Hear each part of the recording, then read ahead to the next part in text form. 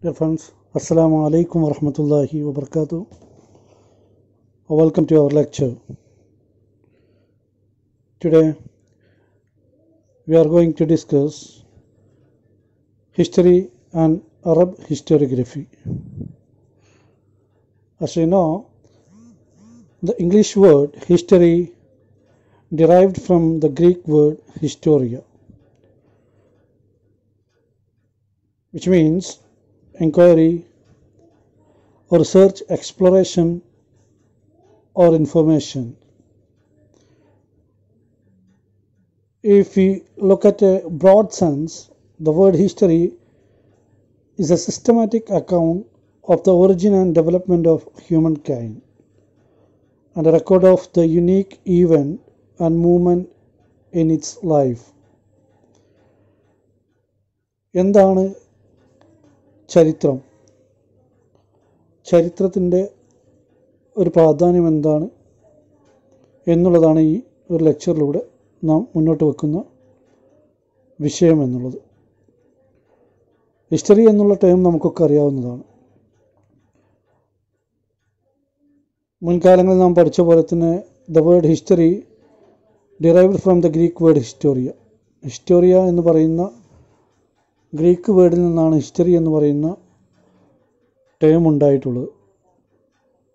അതിലർത്ഥം അന്വേഷണം ഗവേഷണ പരത അതല്ലെങ്കിൽ ഗവേഷണത്തിലൂടെ കൂടുതൽ കാര്യങ്ങൾ വെളിപ്പെടുത്തുക അതല്ലെങ്കിൽ ചില വിവരങ്ങൾ നമുക്ക് ലഭ്യമാക്കുക എന്നൊക്കെയാണ്. വിശാലമായൊരു കാഴ്ചപ്പാടിൽ എന്താണ് ഹിസ്റ്ററി? എന്നുള്ള ഒരു അന്വേഷണത്തിന് നമുക്ക് പറയാൻ പറ്റുന്നത് it is a systematic account of the origin and development of human kind and record of the unique events and the movement in its life മനുഷ്യവംശത്തിന്റെ വികാസത്തെ ഉത്ഭവത്തെയും വികാസത്തെയും കുറിച്ച് വളരെ കൃത്യമായിട്ട് രേഖപ്പെടുത്തുന്ന ഒരു സംവിധാനത്തെ അല്ലെങ്കിൽ ആ ഒരു രീതിയെയാണ് നമുക്ക് ഹിസ്റ്ററി എന്ന് പറയാൻ പറ്റും അങ്ങനെ മനുഷ്യോത്ഭവവും വികാസവും രേഖപ്പെടുത്തുകയും അതിന് കൃത്യമായിട്ട് ക്രോഡീകരിക്കുകയും ചെയ്യുന്ന ആ ഒരു സംവിധാനത്തെ മനുഷ്യ ജീവിതവുമായി ബന്ധപ്പെട്ടുകൊണ്ടുള്ള പഠന സംവിധാനത്തെയാണ് ഹിസ്റ്ററി എന്ന് നമുക്ക് പറയാൻ പറ്റും. അതല്ലെങ്കിൽ hence it is the living past of man and an attempt made by man through centuries to reconstruct, describe, and interpret his own past മനുഷ്യന്റെ ഭൂതകാലങ്ങളെ അടയാളപ്പെടുത്തുന്നതിന് അല്ലെങ്കിൽ അതിനെ വിവരിക്കുന്നത് നൂറ്റാണ്ടുകളോളം അവന്റെ ജീവിത പരിസരങ്ങളെ മനസ്സിലാക്കി അത് രേഖപ്പെടുത്തുന്നതിന്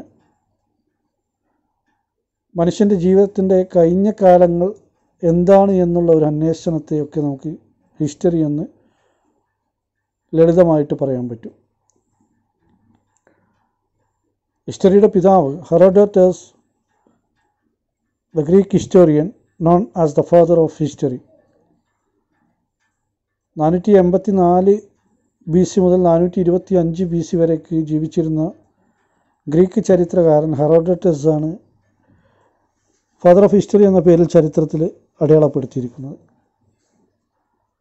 ചരിത്രത്തിന്റെ ഡിഫിനിഷൻ വളരെ പ്രധാനപ്പെട്ടതാണ്. How to define history history is the study of life in society in the past ഭൂതകാലങ്ങളിൽ ജീവിച്ച സമൂഹങ്ങളെ പറ്റിയിട്ടുള്ള പഠനം എന്ന് വേണമെങ്കിൽ നമുക്ക് ഹിസ്റ്ററിയെ വിവക്ഷിക്കാം. In all its aspect in relation to present development and future hopes. മനുഷ്യ സമൂഹത്തിന്റെ കഴിഞ്ഞ കാലങ്ങളെപ്പറ്റിയുള്ള പഠനം അതിനെ വർത്തമാന കാലഘട്ടത്തിലേക്ക് ബന്ധപ്പെടുത്തുകയും ഭാവിയിലേക്ക് ഒരു പ്രതീക്ഷയായിട്ട് അതിനെ കൊണ്ടുപോവുകയും ചെയ്യുക എന്നുള്ളതിന് ചരിത്രമെന്ന് നമുക്ക് പറയാൻ പറ്റും. ചരിത്രം പഠിക്കുന്നത് വർത്തമാനകാലത്തെ ജീവിതത്തിലെ കൂടുതൽ കാഴ്ചപ്പാടുകൾ വളർത്താനും ഭാവിയിലേക്ക് അല്ലെങ്കിൽ ഭാവിയുടെ വികാസത്തിലേക്കുള്ള ഒരു ഊന്നൽ നൽകുന്നതിനും വേണ്ടിയിട്ടാണ് എന്ന് നമുക്ക് മനസ്സിലാക്കാം. It is the story of man in time an inquiry into the past based on evidence. മനുഷ്യന്റെ ജീവിത ക്രമങ്ങളെ പറ്റിയിട്ടുള്ള രേഖപ്പെടുത്തലിനെ ചരിത്രമെന്ന് നമുക്ക് പറയാൻ പറ്റും. അതിന്റെ അന്വേഷണങ്ങളെ അവന്റെ ഭൂതകാലത്തിനെ കൃത്യമായി മനസ്സിലാക്കുന്നതിന് വേണ്ടി തെളിവുകളുടെ അടിസ്ഥാനത്തിൽ രേഖപ്പെടുത്തി വെക്കുന്നതിന് ഹിസ്റ്ററി എന്ന് ചരിത്രകാരന്മാർ ഡിഫൈൻ ചെയ്തിരിക്കുന്നു. It is an inquiry into what happened in the past, when it happened and how it happened മറ്റൊരർത്ഥത്തിൽ പറഞ്ഞാൽ ഇതൊരു അന്വേഷണമാണ്. എന്താണ് മനുഷ്യന്റെ ഭൂതകാലങ്ങളിൽ ഉണ്ടായിട്ടുള്ളത് എന്നുള്ളത് മനസ്സിലാക്കുന്നതിന് വേണ്ടിയിട്ടുള്ള ഒരു അന്വേഷണം. അതല്ലെങ്കിൽ എങ്ങനെയാണ് ആ സംഭവങ്ങൾ മനുഷ്യ ഭൂതകാലത്തിൽ ഉണ്ടായിട്ടുള്ള സംഭവവികാസങ്ങൾ എങ്ങനെ സംഭവിച്ചു? എപ്പോൾ സംഭവിച്ചു എന്നുള്ള എന്ത് സംഭവിച്ചു എന്നുള്ള വാച്ച് വെൻ ആൻഡ് ഹൗ എന്നുള്ള മൂന്ന് ചോദ്യങ്ങളെ കണ്ടെത്തുന്നതിന് വേണ്ടിയിട്ടുള്ള ഒരു ശാസ്ത്രശാഖയാണ് ഹിസ്റ്ററി എന്ന് നമുക്ക് പറയാൻ പറ്റും. കൊളങ്കുട്ടി പറയുന്നു history is or should be an attempt to rethink the past ചരിത്രം എന്ന് പറഞ്ഞാൽ അത് മനുഷ്യന്റെ ഭൂതകാലത്തെക്കുറിച്ചുള്ള ഒരു പുനർവിചിന്തനമാണ് എന്നുള്ളതാണ് നമുക്ക് കാണാൻ സാധിക്കുന്നത്. ഹിസ്റ്ററിയുമായി ബന്ധപ്പെട്ടുകൊണ്ട് history has been define differently by different scholars ധാരാളം ഡിഫൈൻ ചെയ്ത ഡെഫിനിഷൻസുകൾ നമുക്ക് കാണാൻ പറ്റുന്നു നിർവചനങ്ങളിലേക്ക് കിടക്കുകയാണെങ്കിൽ വാട്ട് ഈസ് ഹിസ്റ്ററി എന്നുള്ള ചോദ്യത്തിന് വ്യത്യസ്തമായിട്ടുള്ള ഉത്തരങ്ങൾ നമുക്ക് കാണാൻ പറ്റുന്നു എന്നുള്ളതാണ്. ബർക്കാഡ്സ് പറയുന്നത് history is the record of what one age finds worthy of note in another ചരിത്ര രേഖപ്പെടുത്തൽ തന്നെയാണ്. ഒരു കാലഘട്ടത്തിലെ ഒരു യുഗത്തിന്റെ കാഴ്ചകളെ രേഖപ്പെടുത്തി വെക്കുക. ഒന്നിൽ നിന്ന് വ്യത്യസ്തമായി മറ്റൊന്നിനെ രേഖപ്പെടുത്തി വെക്കുക. അങ്ങനെ പുതുമയുള്ളത് എന്താണോ അതിനെ കണ്ടെത്തി കാലഘട്ടത്തിലേക്ക് അടയാളപ്പെടുത്തുന്നതിനെ ചരിത്രമെന്ന് നമുക്ക് മനസ്സിലാക്കാൻ പറ്റും.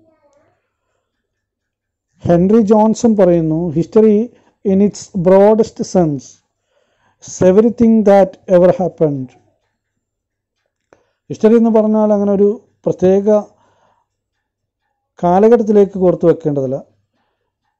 കുറച്ചുകൂടി വിശാലമായിട്ടുള്ളൊരു കാഴ്ചപ്പാടിലേക്ക് ചരിത്രത്തിന്റെ ഡെഫിനിഷൻ നമുക്ക് കൊണ്ടുപോകാം. അതെന്താണ്? Is everything that ever happened കഴിഞ്ഞ കാലങ്ങളിൽ എന്ത് സംഭവിച്ചിട്ടുണ്ടോ അതെല്ലാം അത് ഏത് കാലഘട്ടം എന്നുള്ളതല്ല. എന്ന് സംഭവിച്ചാലും അതെല്ലാം ചരിത്രം തന്നെയാണ് എന്ന് പറയുന്നു. നമുക്കൊക്കെ പരിചയമുള്ള ചരിത്രകാരൻ സ്മിത്ത്. സ്മിത്ത് വി എസ് പറയുന്നു the value and interest of history depend largely on the degree in which the present is illuminated by the past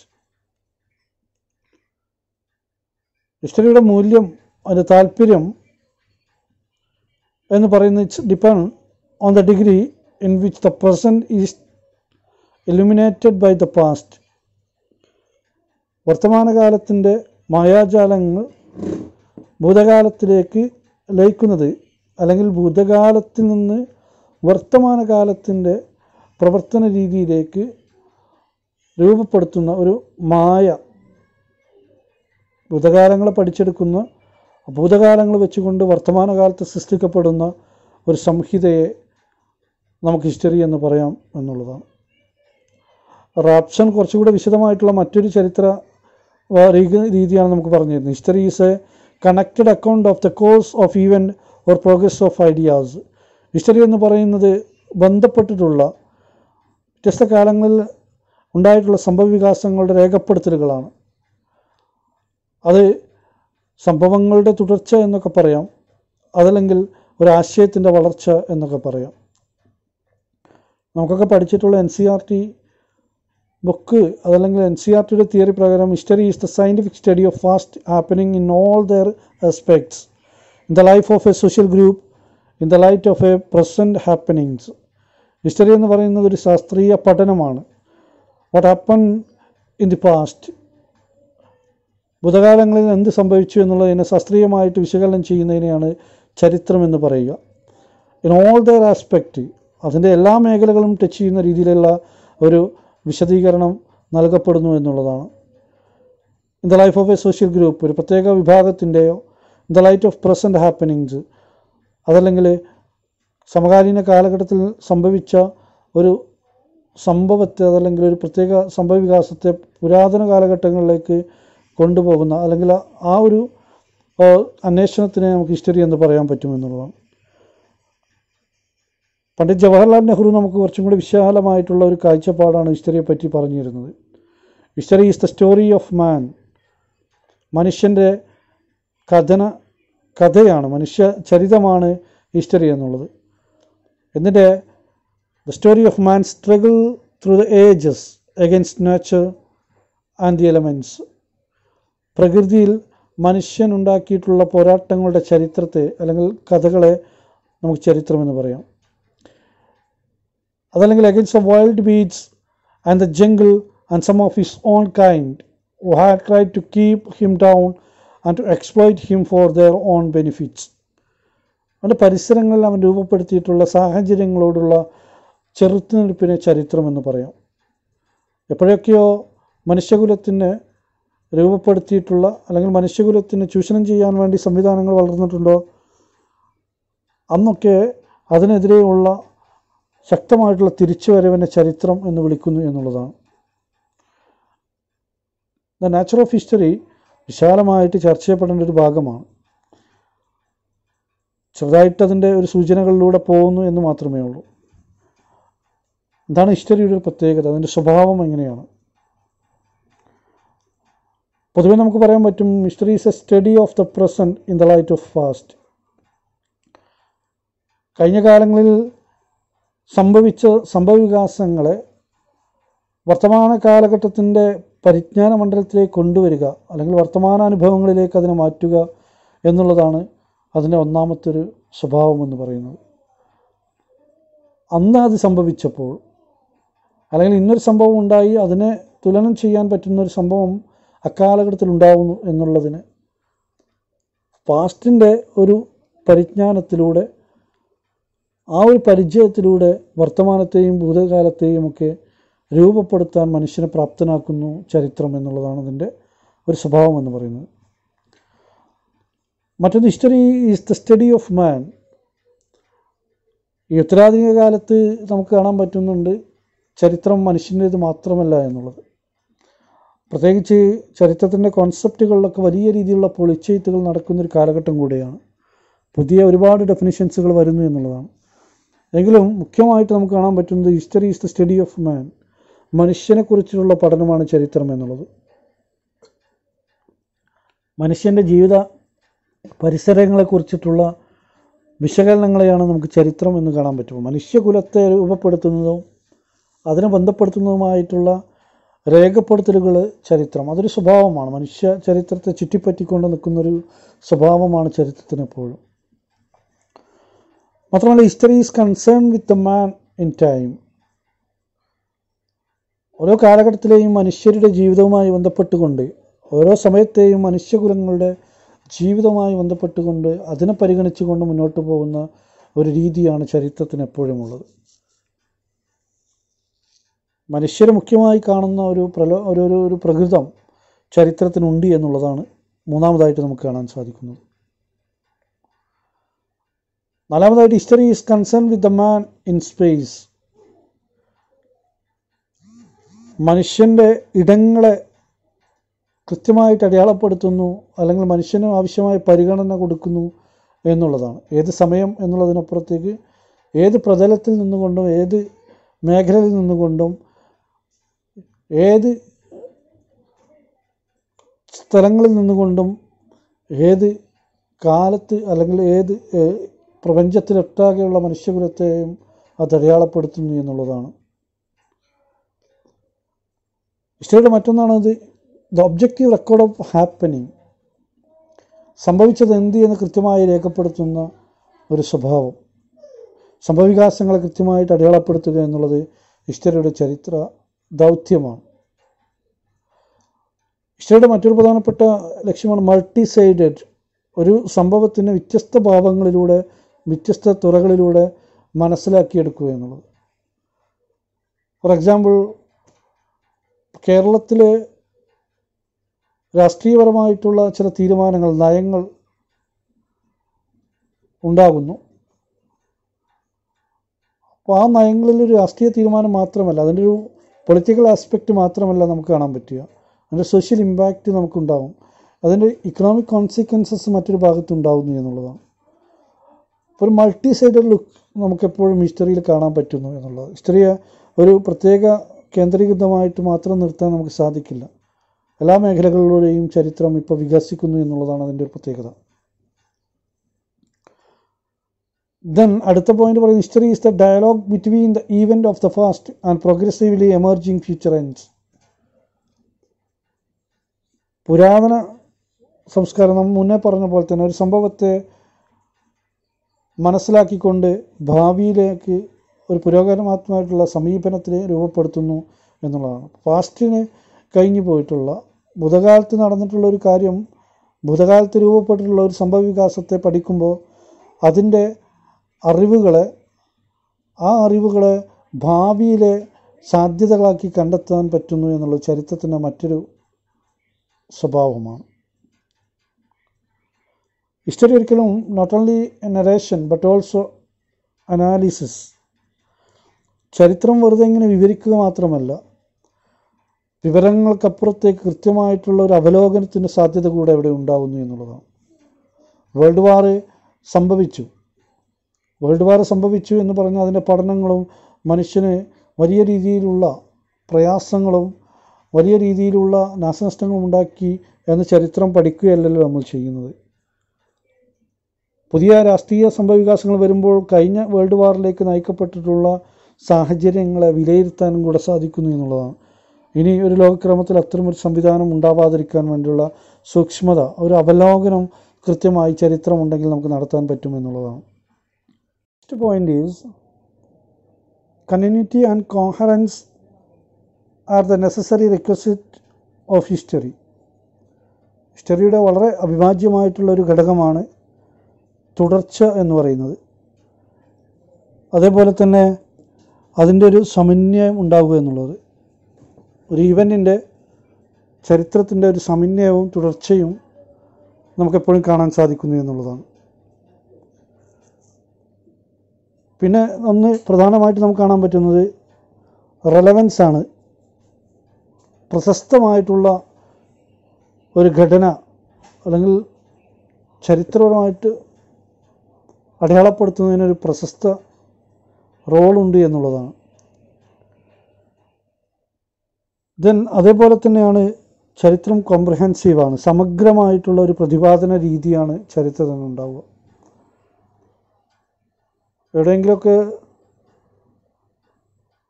തൊട്ടും പറഞ്ഞു പോകുന്ന രീതിയല്ല. സമഗ്രമായ വിശകലനത്തിലേക്ക് നയിക്കുന്നു എന്നുള്ളതാണ് ചരിത്രത്തിന്റെ ഒരു പ്രത്യേകത എന്നുള്ളത്.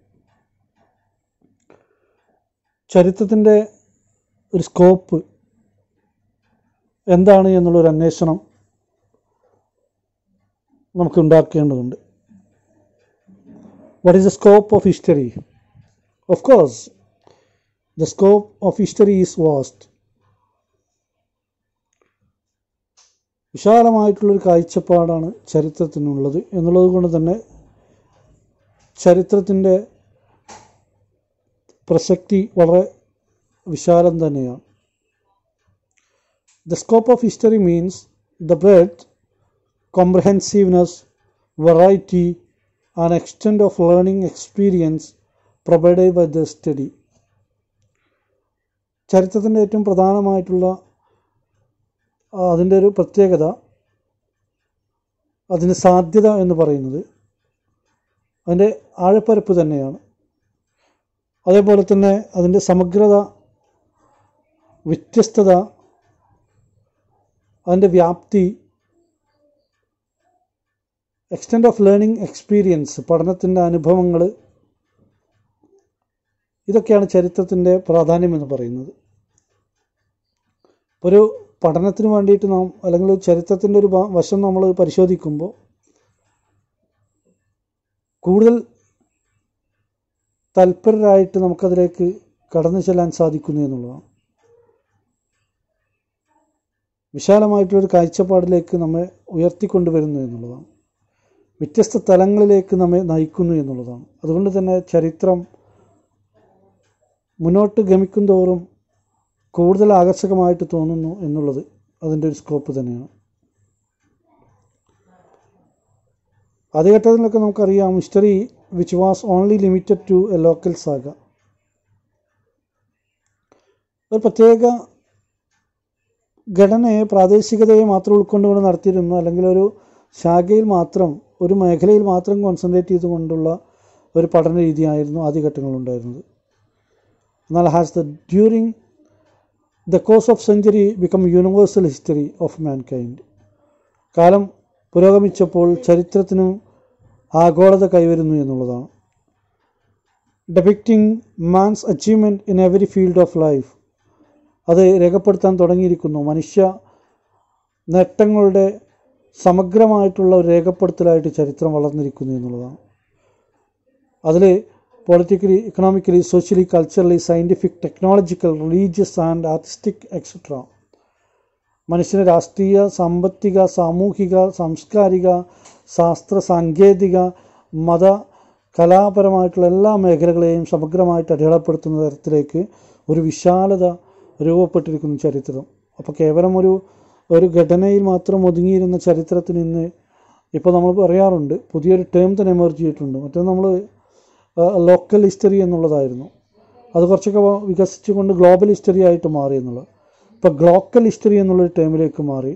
ലോക്കൽ ഹിസ്റ്ററിയെ ഗ്ലോബലൈസ് ചെയ്യപ്പെടുന്ന ഒരു യൂണിവേഴ്സൽ ഹിസ്റ്ററി ആക്കിയിട്ട് മാറ്റുന്ന തരത്തിലേക്ക് സാധ്യത വർദ്ധിച്ചു എന്നുള്ളതാണ്.